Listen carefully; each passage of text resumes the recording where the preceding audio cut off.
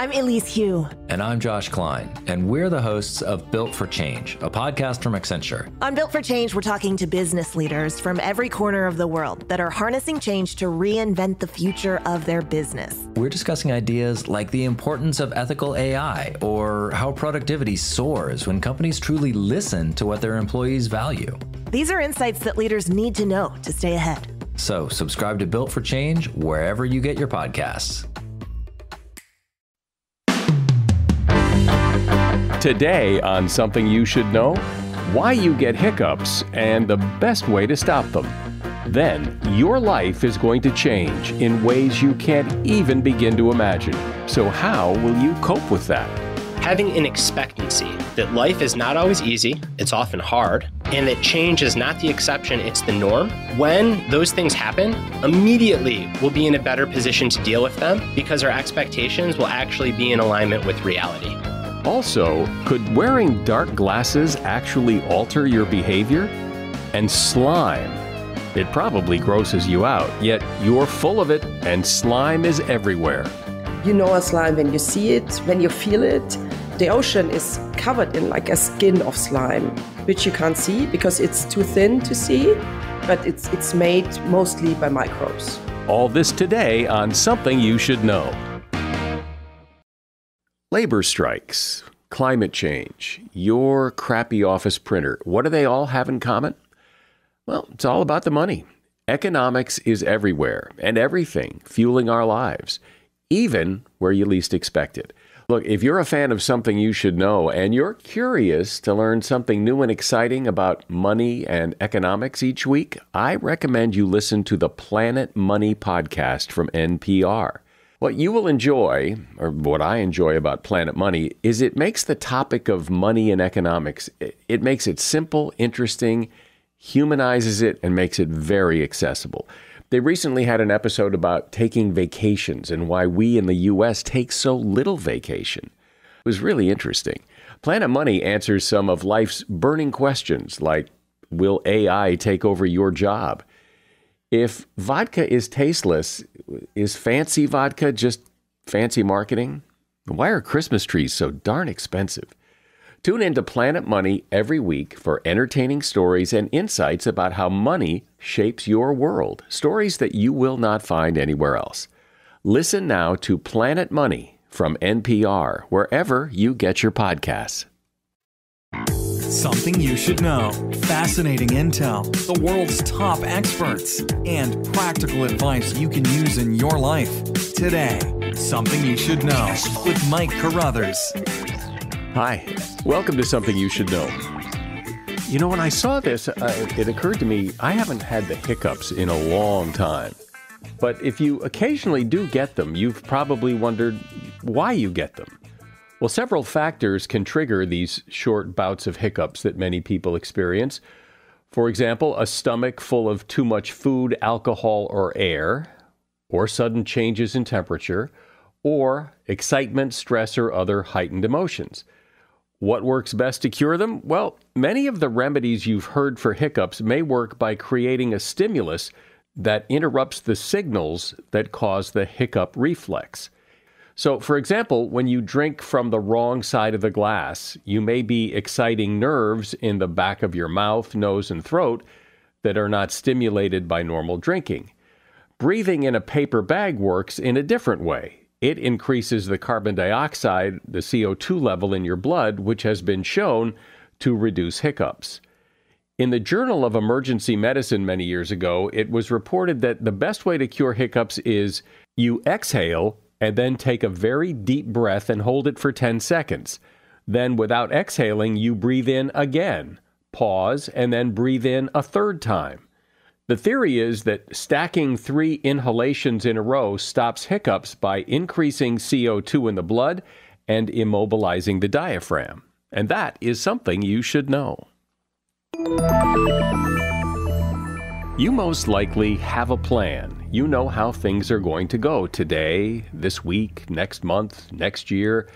And one thing is pretty certain it won't all go as planned. Change is inevitable. The unexpected happens that alter your plan, sometimes in small ways, sometimes in major ways. but things do change. And people generally don't like change, or they say they don't like change. And given how inevitable it is, we likely could all use some help dealing with those changes that are inevitably coming. Here to help is Brad Stulberg. Brad is a researcher and writer who's been here before talking about the passion paradox. And his latest book is called Master of Change How to Excel When Everything is Changing, including you. Hey, Brad, welcome to Something You Should Know. Mike, it's great to be back. Thanks for having me. So, Brad, explain why this is important. We all know change happens. We tend to resist it, but it still happens, and we deal with it as best we can. So, what's, what's your perspective on this, and what does your research say about people and how they deal with change? People don't like change. We crave stability. We often end up getting ourselves into trouble because we resist change, we try to avoid it, we bury our heads in the sand, we sacrifice all agency when in fact, the most skillful way to navigate change is really to view it as something that we are in an ongoing conversation with, not something that happens to us, but something that is just the ongoing nature of reality. Well, and given how inevitable change is, it makes you wonder why we're so lousy at it, why we resist it, why we don't like it, because it is, it seems like we should adapt to handle it better. Yeah, you know, this was the most interesting part of my recent reporting and research journey. It goes back to really the early 1600s, the beginning of empirical science, when the earliest individuals that fashioned themselves to be scientists, they observed this pattern that describes change as a cycle of order or stability, disorder, change, chaos, and then back to order. And it wasn't until the mid 1800s that a physiologist named Walter Cannon, he coined this process homeostasis. And since then, homeostasis has been the guiding narrative around change. It is inherently bad, and we should try to eliminate it. And when it happens, we should try to get back to where we started as fast as possible. However, in just the last two decades, the research community has stepped back and said, you know, homeostasis it's not the most accurate fit model for change. A better model is what researchers call allostasis, which describes change as a cycle of order, disorder, reorder. So, yes, we crave stability, but that stability is somewhere new. And I think, Mike, the etymology of these words tells the whole story. So, homeostasis comes from the root homo, which means same, and stasis, which means standing. So it argues that the way to stay stable is by staying the same. Whereas allostasis comes from the root allo, which means change or variable, and stasis, which again means standing. So it's translated into stability through change. And I think it has this beautiful double meaning that yes, it's possible to stay somewhat stable through change, but the way to do it is through change, is by changing at least to some extent. Well, when you think about Eh, you look back on your own life, things have changed probably pretty dramatically in the last several years, and you adapt to it. It's not like you, I mean, you may resist it, but ultimately you adapt to change.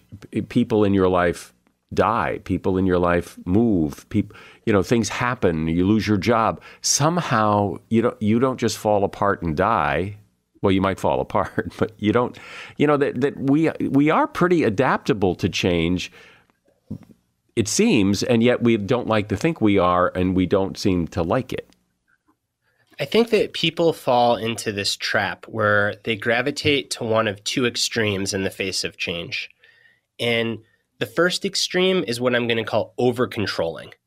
So they try to control a situation that is inherently out of their control. They grasp, they problem solve, they try to fix everything. They end up getting in their own way.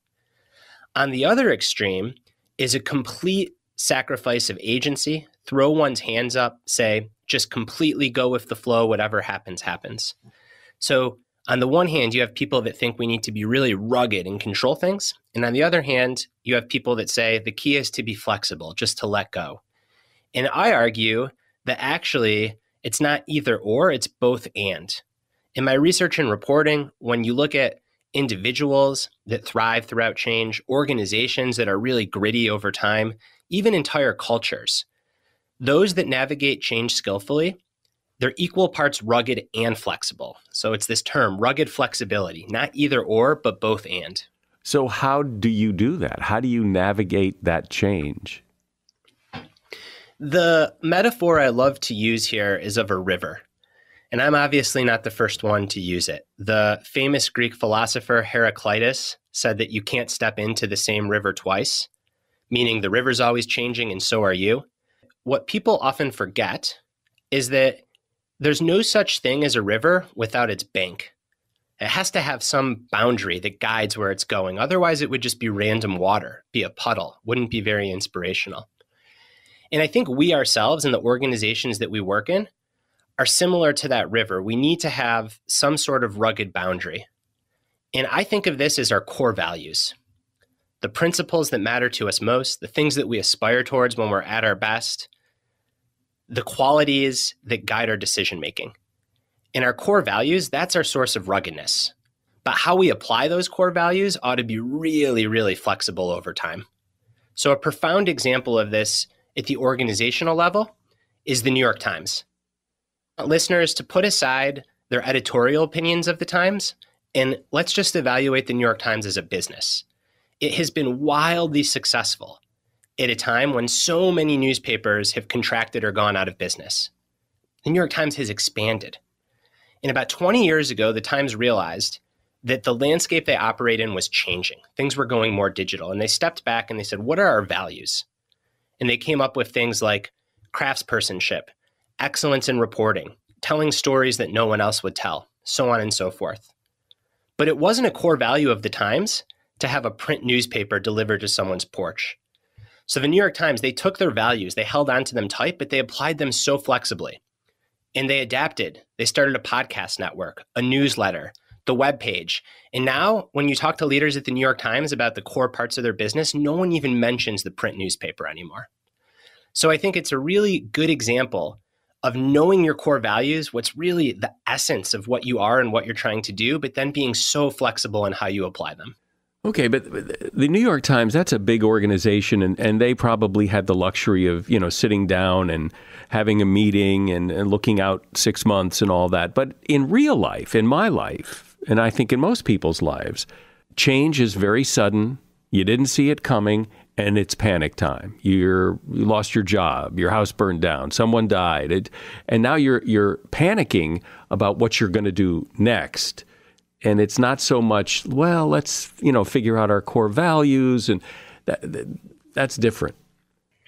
I think it depends on the, the the change. So you're right. If you if you lose a job and you unexpectedly get laid off, or if you lose a loved one, or if you have a terrible health prognosis, trying to engage in any kind of like intellectualizing and positive thinking almost always backfires. Like it's okay when things suck to just let them suck.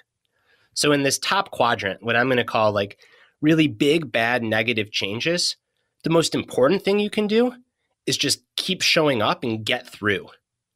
Lean on other people for support try to simplify your life as much as possible. I mean, just get through. It's like the worst thing to tell someone that just suffered a loss and is grieving is, well, come up with three things you're grateful for, reflect on your core values. It's like that's BS. like right. your job right. is just to show up and get through. Right.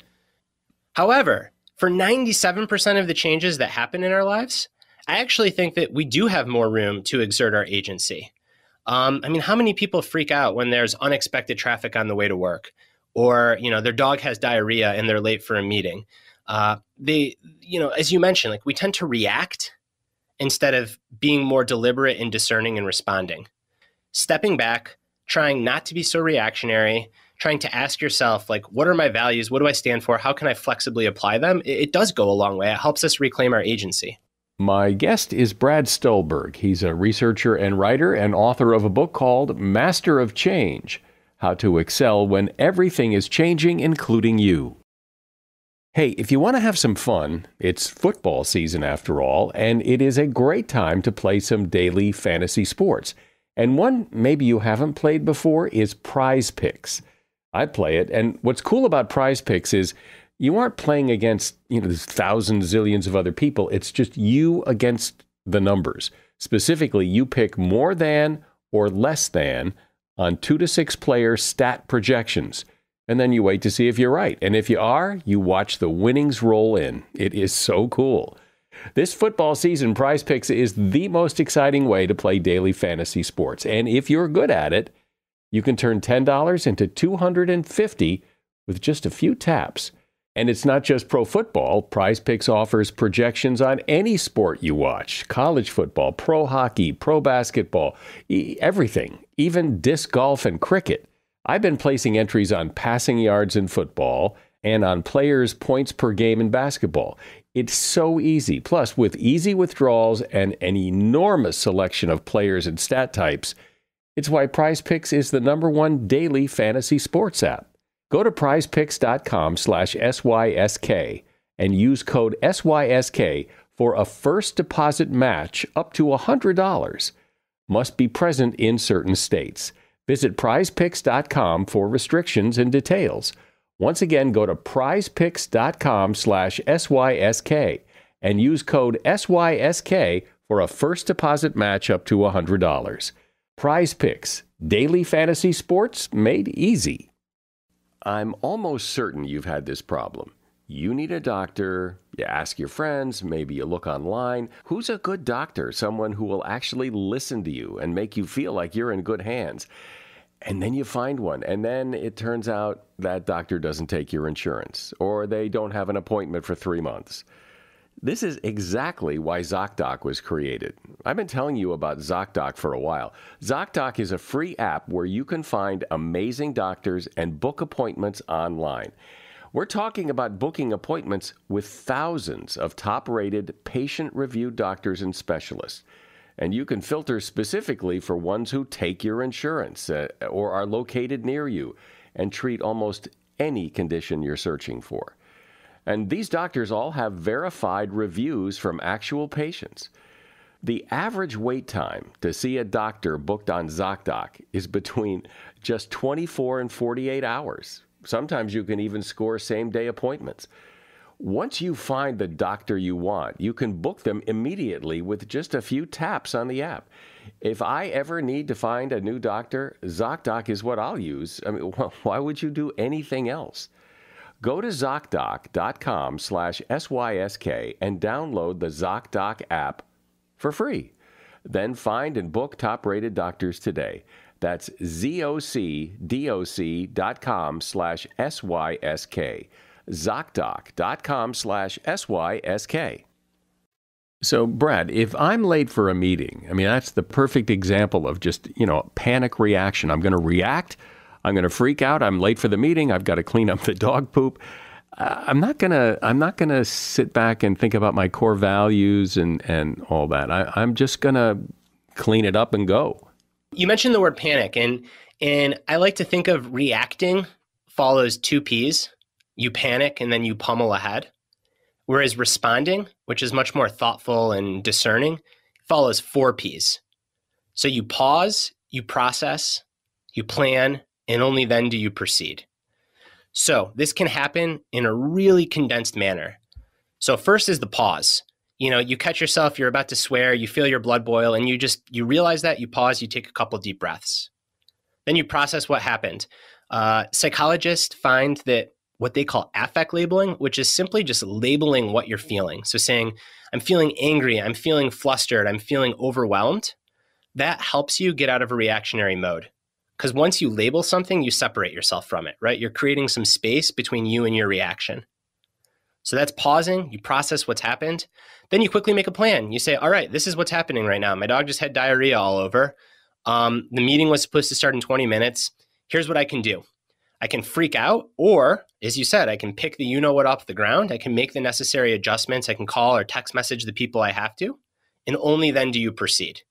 So it just helps us get out of our own way by avoiding these freakouts in these um, periods of like real stress throughout our day when we'd be so much better just shifting from that reactionary mode to, to something a little bit more responsive instead. Um, so again, because I said a lot right there, two P's, react, you panic and you pummel ahead. Generally, you end up regretting that. Very few people look back on that and are proud of what they did. Four P's, you respond. You pause, you take a breath or two, you gather yourself, you process, naming your uh, emotions and what you're feeling can really help. You quickly make a plan, like this is what's happening right now. These are the resources I have available to me, and only then do you proceed. I, I do this all the time in parenting. You know, parenting is like one continuous river of things that you didn't plan for and changes. And it's so easy, even if you're the best intentioned, kindest person, to lose your patience and snap. And to me, snapping, it's just being reactionary. So there's all sorts of opportunities to practice this responding, not reacting in daily life, whether you're a parent or not. Something that I, I know happens to me at times, especially if I'm under stress anyway, because it doesn't happen all the time. But when something like the dog poops in the living room, there's that feeling of can't anything go right? Now, every, it seems it, it colors your whole world view of everything's screwed up, everything's a mess, and which is just a, like a downward spiral to hell. And and yet it's hard to not do it when you walk in the living room and there's stuff on the floor. I think the key is that recognizing that it's completely okay to have those thoughts and feelings and to not judge yourself for them. Um, sometimes things do suck. And you know, one one way to view life is that it is like a series of of highs and lows, and the lows we'd rather not experience them if we didn't have to, but but here they are. So I wouldn't counsel you to do anything else other than acknowledge it and be like, yeah, I'm feeling like, you know, again, it's the naming the emotion. I'm feeling like things never go my way. I'm feeling like life is just one parade of dog poop on the floor. And yet, I'm going to pick up this poop and get on with my day and acknowledge that life is hard and take those feelings along for the ride. I think such a occupational hazard for anyone that has to spend time on the internet is this torrent of um, like rose tinted social media posts that everything's happy and look how great everything is and so on and so forth. And it completely obscures the reality that life is full of challenges. And um, I think the work of a mature adult is having those thoughts and feelings, facing those challenges, picking up the poop. It's a great metaphor, and then getting on with your day. Well, as you said, life is hard. And there is this sense when you go on social media that everybody else's life is great, but yours. And I sometimes find too that, you know, you talk to somebody whose life seems to be going great. And if you talk to them long enough, you'll find that probably fairly recently they've had to deal with something pretty difficult and hard and upsetting. And uh, you forget about that. You tend to think that, that these problems only happen to you. That's right. And I think that a lot of what we can get out of all of these unanticipated challenges and changes and struggles is um, more compassion. You know, compassion means to suffer together. And maybe it's not as extreme as suffering, but I think it softens us up and makes us a little bit kinder if we can remember that, you know, we're all going through something in some way or another. Doesn't mean that you have to be friends with everyone, doesn't mean you have to like everyone um, but but to try to use that to connect with other people. And you know, in the spirit of something you should know on social media, it's not my metaphor. I've heard it multiple times. I don't know who said it first, but social media, it's kind of like a swan. So you look at a swan, and they're this beautiful creature, right? But underwater, a swan is paddling so frantically just to stay above water. And I feel like that's social media in a nutshell. You know, we only see the beautiful swan on top, but oftentimes the people that look most beautiful on top are so frantic underneath. Yeah. Got to keep that in mind. Another thing, too, is, you know, and, and I've always, when I heard this the first time many, many years ago, it's always s- stuck with me that as much as you know things are going to change, you don't know what's going to change. And that's the like one of the reasons why you have a little savings account because you don't know what's going to go wrong. Maybe it's your brakes maybe it's your chimney but something's going to go wrong because things go wrong. And you kind of have to believe that and prepare for that because things do go wrong. You just can't figure out now what it's going to be next.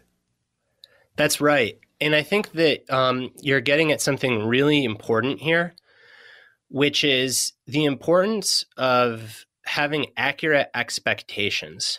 Psychologists use this equation that our mood or our happiness at any given point in time is a function of our reality minus our expectations. So if our expectations are better than our reality, we feel like crap.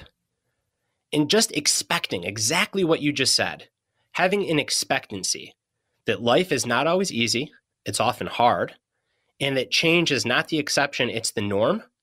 When those things happen, immediately we'll be in a better position to deal with them because our expectations will actually be in alignment with reality. Whereas if we go through life expecting everything to be easy and everything to seamlessly go our way, and we're quote unquote thrown off. I mean, it's literally in the way we talk about these things. The reason we are thrown off by change is because we never expect it. Whereas if we can step back and say exactly what we both said in the opening, that change is the norm, it's not the exception, then when it occurs, our expectations and our reality aren't that far apart from each other. And that puts us in a better mindset and, and mental space to be able to deal with it. So many, though, so many changes I know that uh, as I think back, I th- I should have seen them coming, and I didn't. And I think everybody has that regret. Like I, I, knew if I, in retrospect, I, there were signs. I saw this, and I ignored it. Yeah, but I think that that is, um, you know, I.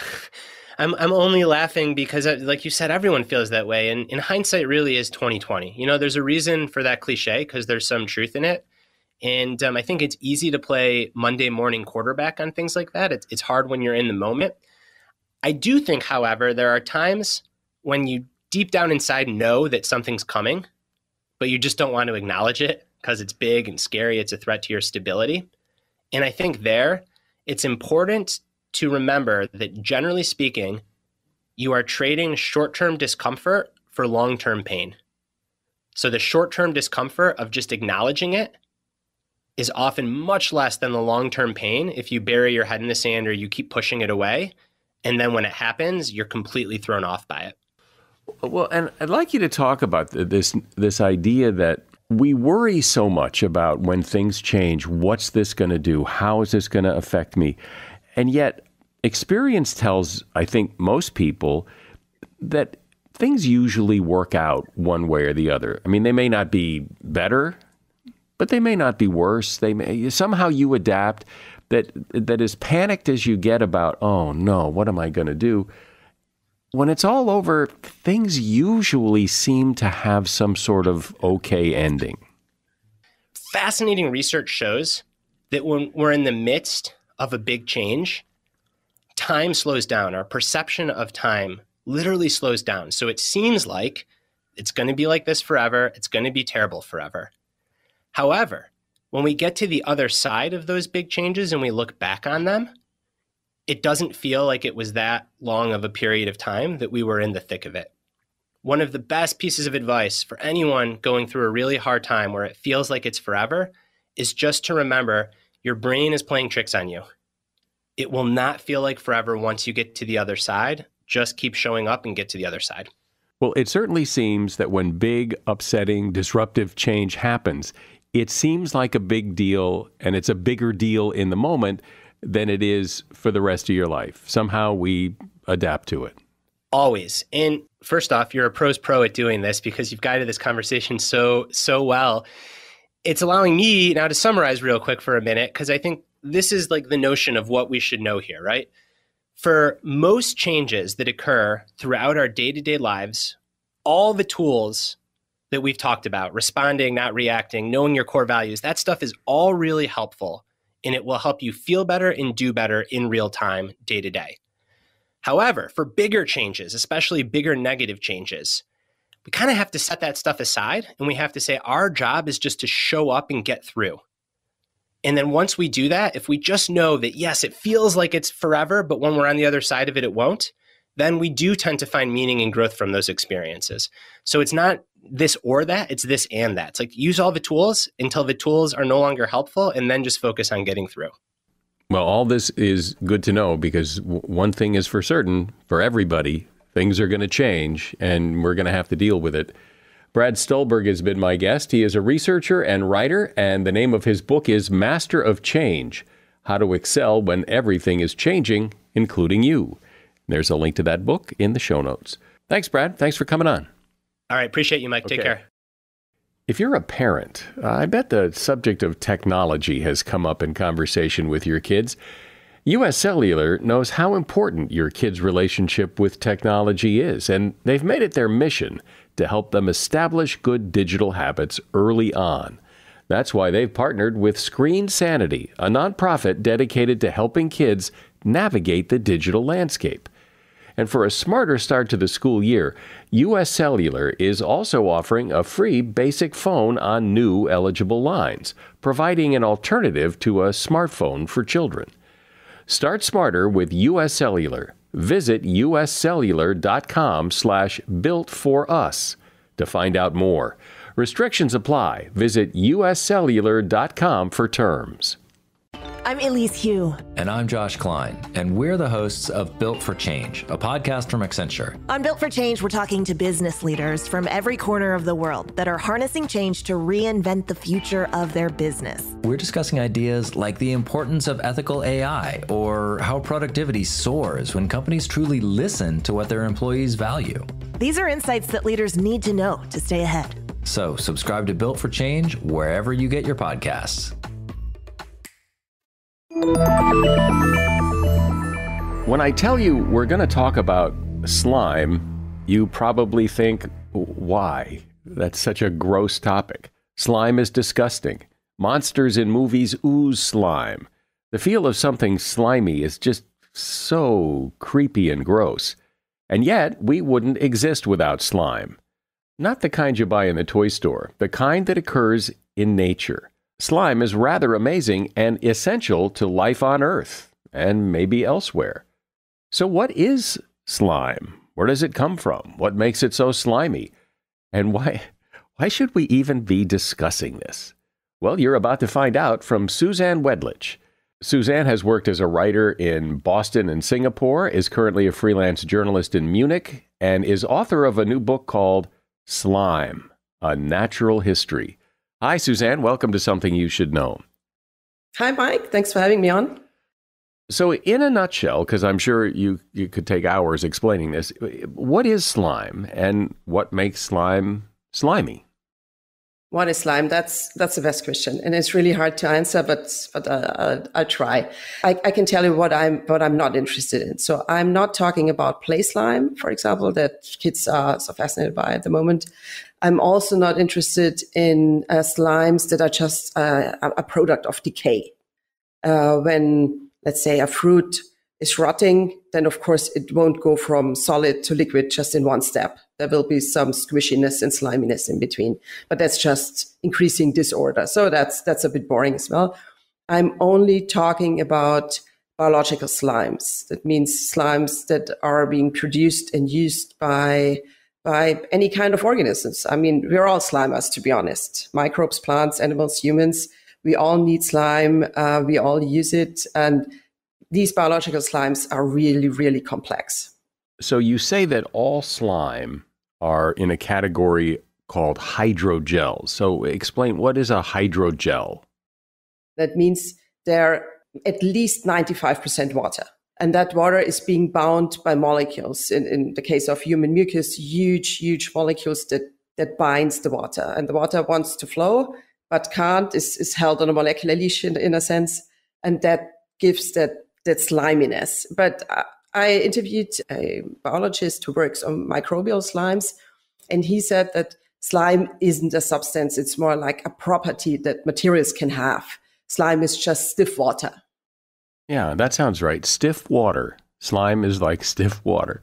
And you used the word a minute ago, mucus. What's the difference between slime and mucus, or are they the same thing? Mucus is one word I'd say for for slime. In the beginning, I thought mucus only meant um, human slimes, that we have in, in, in, the gut, for example. Um, but then researchers also talk about snail mucus. So, like I said, there's no one definition for slime, and all those different words uh, are used interchangeably in a sense. But then you have some words for slime that are very specific. For example, if if microbes produce a slime, it's called a biofilm if plants produce it, it's it's mucilage, and very often in humans it's called uh, mucus. Um, but like I said, on a basic level, they're really rather similar. Well, you know what's interesting to me is that, uh, as you point out, slime is essential. I mean, we and we're full of slime in in us and and other creatures and other plants and uh, the slime's everywhere, and yet we hate slime. We don't want to talk about it. We don't want to look at it. We don't want to. we really don't want to touch it. But why? Why is why has it become synonymous practically with disgusting? Uh, somehow at least in industrialized nations, we've outsourced our slimes. Uh, thanks to sanitation, fridges, hospitals, in everyday life, slime doesn't really occur very often. And I think that's why our disgust when it comes to slime is just going overboard.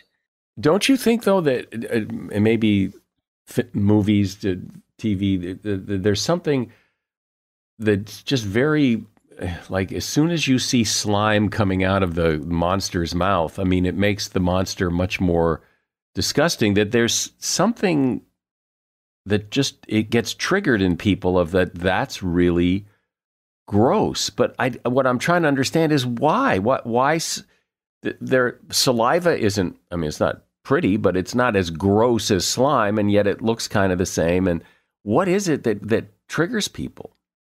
you know a slime when you see it, when you feel it.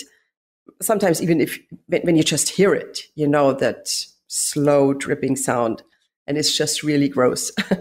and to be honest, being disgusted is, is a luxury because for the longest time, um, people, and of course, there are still um, societies where um, people don't have fridges or clean water. They can't afford to be disgusted by blood, by animal excretions, by slime. But here in the West, we can do that. And there's just nothing to, to, to keep that in check. In reality, where, where do we meet slime? Maybe if you have uh, kids, um, then you have to deal with snotty noses. But where else? You know where else? In the movies. You see a lot of slime in movies, monster movies, uh, alien movies aliens seem to have a real issue with slime. Slime, we're grossed out by aliens. We're grossed out by slime. We, we're grossed out by slime because we, we, we can't grip it in any sense. You don't know, is it just oozing or is it alive already?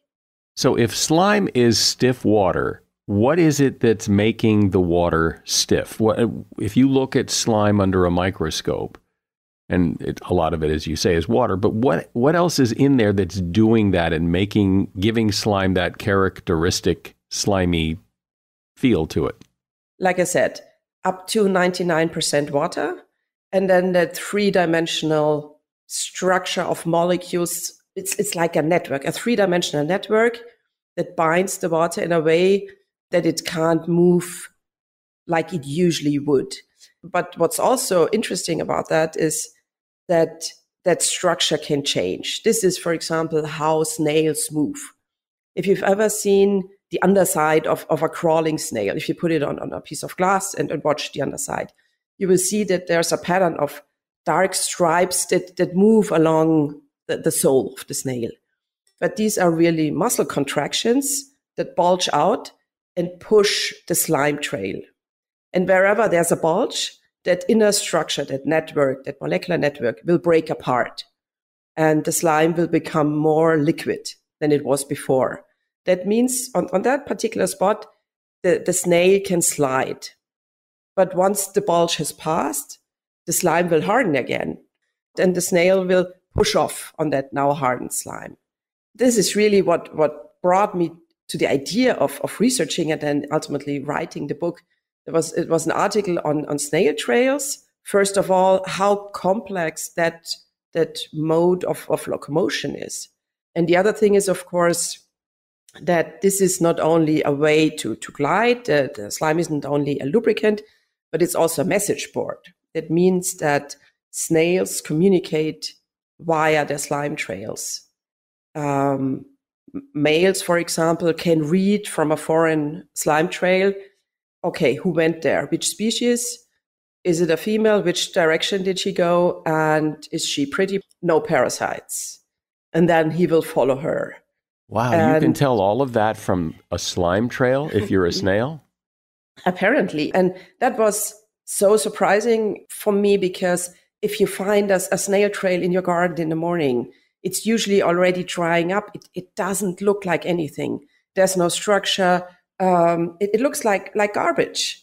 And yet, if another snail comes along, they will find each other. And there are also carnivorous snails um, that hunt that way because they can read from slime trails is it a potential mating partner or is it a prey snail? And it's really only the slime because in one study, um, researchers um, coded a potential mating partner from the same species with a prey snail slime.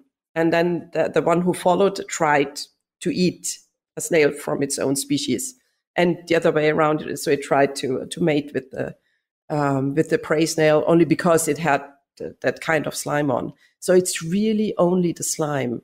So when you come across, say, a, a, a pond of water that's that's still, very frequently you'll see like slime on top. What is that slime doing there? How did it get there? What is its function on a pond of water that isn't doing anything?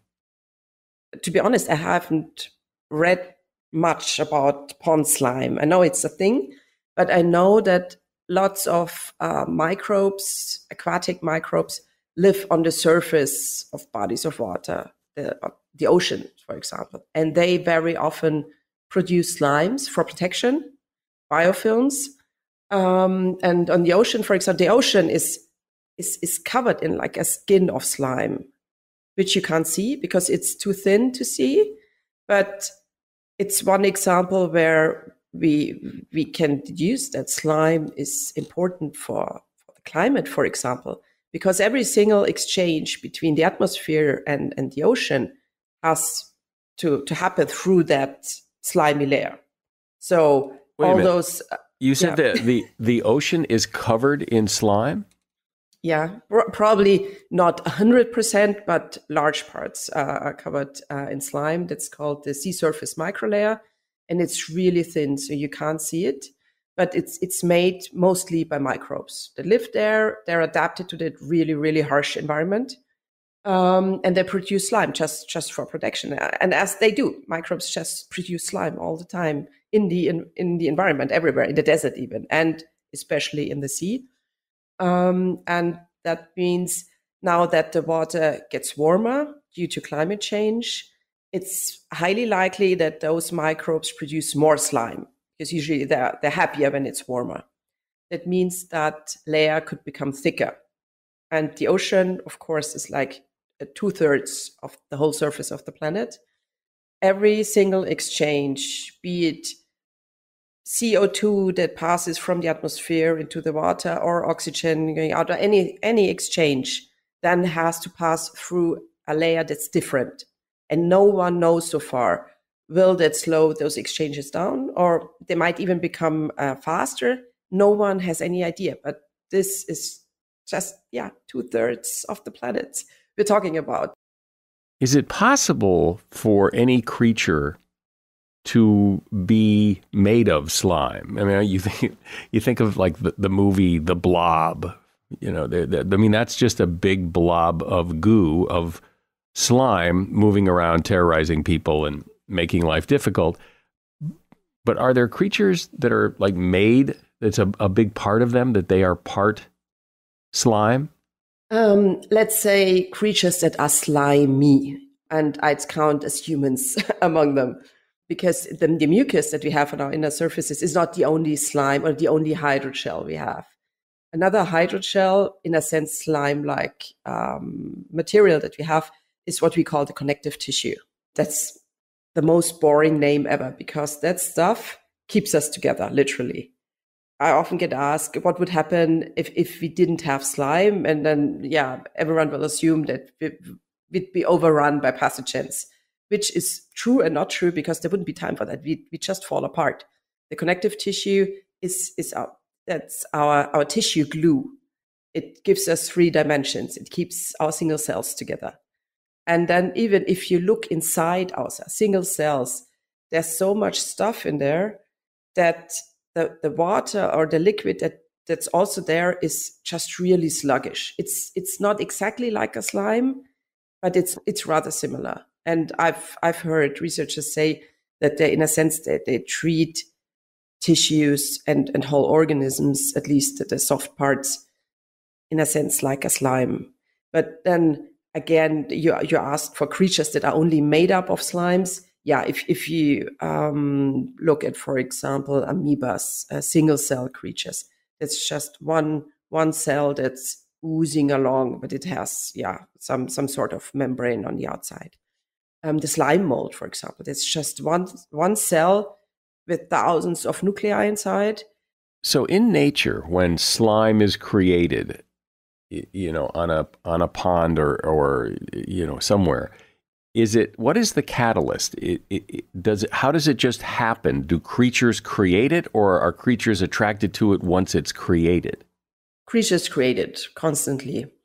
I think that's just not often apparent because all life on land, like us humans, had to hide the slimes inside. They're so highly hydrated um, that we would lose too much water if we had slime on the outside. I mean, the, the eyes are the only surface where we show our slimy surfaces, the, the only tiny example. And even there, there's another layer on top of the slime. It's, it's more like a wax or, or a lipid just to, to prevent uh, the loss of too much water. But all those creatures um, that are in ponds and rivers in the sea, there's, there's no problem to produce slime, to, to have it on the outside. Um, there are marine creatures that create amazing complex nets of slime that, that just produce them, let them waft away and, and wait for food particles to, to get caught because that slime is always sticky. There are snail-like creatures on, on the on the uh, the bed of the sea um, that are stuck in, in their shells, and they have fishing ropes made of slime, and they will just catch whatever's floating by. And also the females, because they will never meet a male, will just catch the sperm packages that the males have released into the water. So so much of aquatic life is based on, on slime to move, to mate, to catch food, to eat, everything and anything really. So so you said that the moisture in our eyes is slime? The tears are probably more water, I think. We, don't have a skin on the surface uh, of our eyes, just a, a, thin mucus layer that's really it's there for protection, but it's thin because otherwise we couldn't look through. But we would even there, the, the eyes aren't that big, but even there we would lose too much water if it was unprotected and that's why we have that fatty, fatty layer on top. What else about this? Because I, I didn't even know this was really a topic worth discussing, but what, but clearly it's fascinating. What else about slime do I probably not know that I would find interesting? Guess what? Um, astrobiologists, people who try to find alien life on other planets, what they're looking for slime, of course. Um, I talked to one uh, another um, scientist who told me that it's just a, question of probability. What would alien life look like? And if anyone had studied someone, an alien had come to, to planet Earth and, and look at the, the life that's here, then for billions of years they would have only found microbes with lots of slime. And the time that we have now with, with what we call higher organisms, that's really short. So they think it's it's highly likely. Of course, they're they're looking for planets with water, and if water's there, there will be slime there. So that's why lots of these um, scientists study the most amazing slimes that microbes produce, like in caves uh, deep inside the earth where it's dark or maybe even dangerous for people to go. And uh, some of these caves, they look like someone said like an alien gut. So it's it's a huge cave, but it's covered in slime it's dripping down like stalactites, but they call it snottites because it's just slime. So they want to learn from these terrestrial microbes and slimes how um, alien life might look like. You know, it's funny. I was thinking as you were speaking that, you know, we all know what slime is.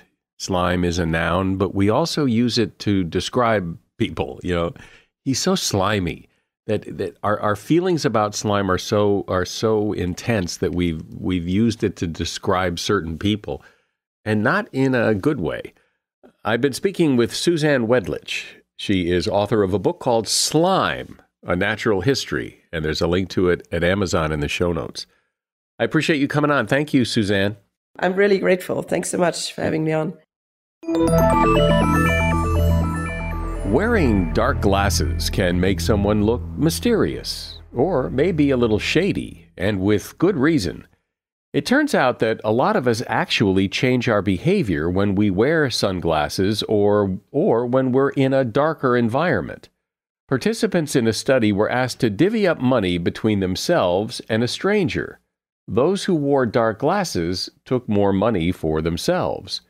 In another experiment, people were asked to complete some math problems and then score themselves. Those who did so in a dimly lit room gave themselves a curve and higher grades than they actually deserved. And that is something you should know. You know, we're always looking for new listeners, and I'll bet you know someone who doesn't listen to this podcast now who would enjoy it and would likely become a regular listener if only you would tell them about it. So please tell someone you know about this podcast. I'm Mike Carruthers. Thanks for listening to Something You Should Know. Stacking Benjamins with Joe and his good friend OG not only has great financial insight, it's laid back with humor too. The Len Penzo sandwich survey. I wanted to know was it really cheaper to brown bag it every day, or was it cheaper to go through the school lunch? And the most expensive sandwich of all 46% increase. This is the first time a, a sandwich has ever touched five bucks. Before anybody gags on that, though, it's a great sandwich. Find out more by searching the Stacking Benjamins podcast, wherever you listen.